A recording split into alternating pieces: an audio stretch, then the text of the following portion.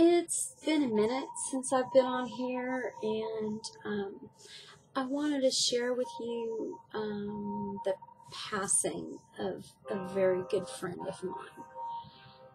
Made me happy for years and years, and finally, it just gave out. The little thing just won't connect.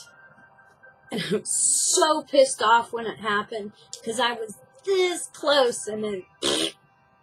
so, it's time to get a new toy.